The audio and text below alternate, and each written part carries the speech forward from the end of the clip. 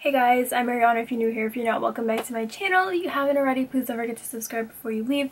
And you can go ahead and hit the post notification bell so you're notified every time I post a video, which is every Monday, Wednesday, and Friday. Today's video, I'm going to be sharing with you guys some very helpful things to know if you're thinking about or before you actually do go blonde. So I actually wanted to do this video for a really long time.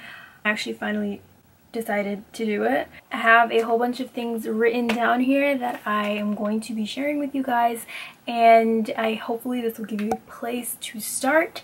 I'm going to give you guys all of the information that I learned on my journey to becoming blonde and everything that I feel like you should know before you actually do it, um, including what to use, what to expect, how long it takes, and everything like that. So, so if you're interested in going blonde, I highly suggest that you keep watching. So before I tell you everything that I know, I'm gonna tell you guys my journey of how I became blonde and how long it took. So this was my hair before. I had natural black dark virgin hair and it was really long, it was really healthy and I decided that I wanted to do like a really drastic change and do a complete 180 so I decided that I wanted to go blonde but this is where I started from. Um, and then I actually before I achieved the color that I was going for it took me about a year and some change to get the exact color that I wanted of blonde. So I was going for like an ashy, ashy, beautiful blonde that was coming out of the roots with kind of like a shadow root. Um, something that would hopefully complement my skin tone and that also wasn't really brassy because that is a very high concern for people who are going blonde. Nobody wants brassy hair. That's what I was going for and it took me a year and a couple months to get there. So the process was long it was hard, it took a lot of effort, a lot of time, but eventually I ended up getting to where I want to be and I want to say that the my absolute favorite phase of being blonde would have to be this phase right here so it was like a beautiful ashy blonde and it was coming out of my roots and it was blended really well it was like a year and a half after me going blonde and maintaining it. I dyed my hair 2018 around April, May. Alright, and then this picture was in 2019 in October.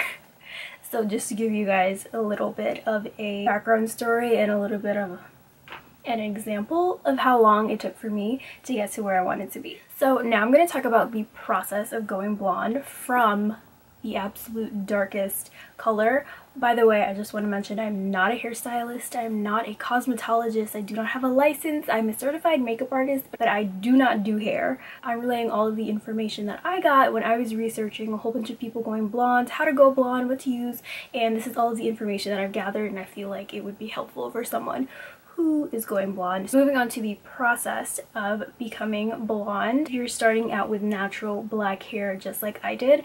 There are stages that your hair will have to go through. So I know a lot of people just want to become blonde in one session, one day, very hard to do that and I will tell you why. When you bleach your hair from being that dark level of hair color lightens in stages so if you are starting from a really dark basically natural black it will move from black and lighten to red then it will lighten to orange then it will lighten to yellow and then it will lighten to white. That is why bleaching it takes a really long time and the process is really long and everybody is different so there is no perfect formula or set outcome on what you can use to get exactly what you want. It is a very interesting process and it is very unpredictable. That is also why it takes a couple of sessions to bleach and lighten your hair up to a blonde color going from that color. Now we're going to move on to products to use when you are bleaching your hair. So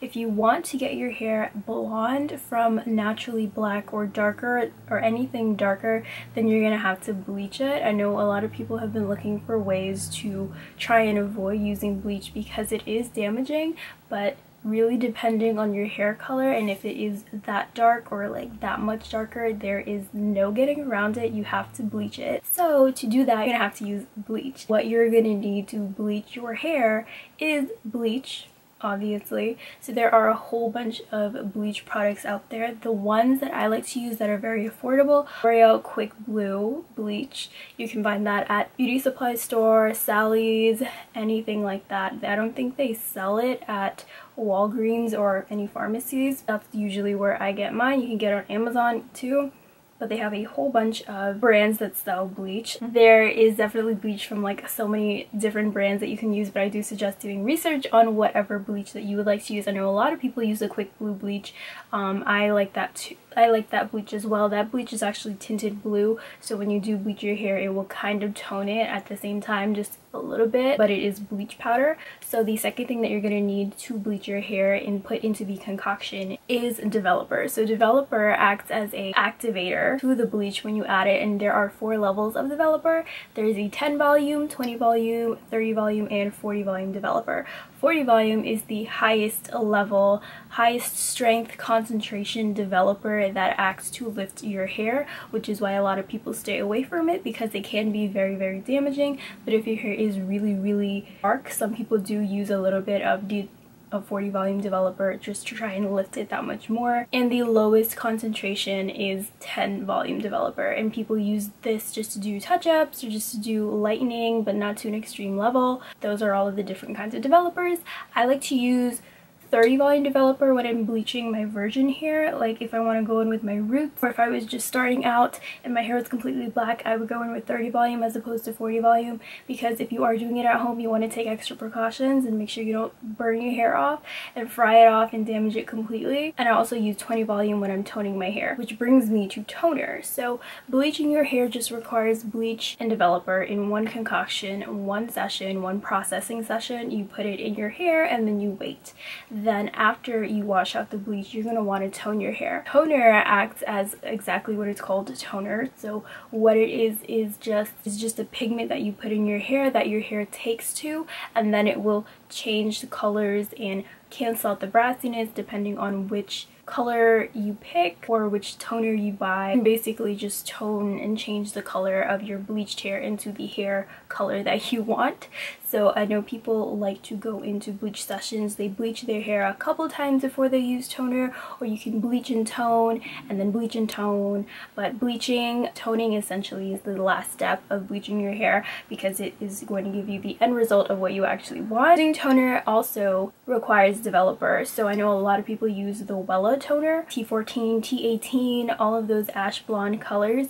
And what you're supposed to do is a ratio of toner to developer. So I like to use a lower a lower level of developer when I'm using toner because it's just pigment. It's not going to lift your hair anymore. That's what the bleach is for. So I don't want to damage it that much more. Now moving on to the actual process of bleaching your hair after you mix the bleach with the toner what you're going to want to do if you're toning your whole entire head, including your roots, is you're going to want to start with the ends, the midsection, and the ends first because bleach acts quicker when it is heated, which is why people use foils. So if you are just starting off with your natural virgin black hair, you're going to want to start with the ends. So you're going to want to section off your hair and start with the ends, the ends of your hair, and leave your roots alone.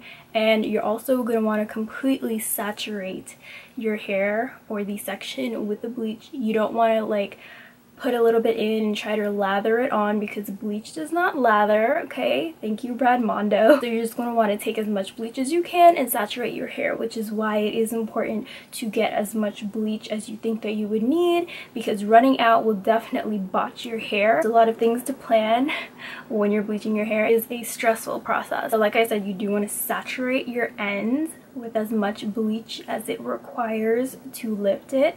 Um, and then when you finish with your ends, you're going to want to go on to your roots and again section off and saturate your roots as well. So your roots are usually going to process quicker than your ends. Like I said, heat quickens the way the bleach works. So your roots are going to end up being very much lighter than your ends if you do it the other way around. And you also want to work quickly when you are applying the bleach to your whole entire head because it does work fast and you shouldn't leave it on for more than I want to say like 30 40 minutes because then it will just start damaging your hair further to the point of lifting it.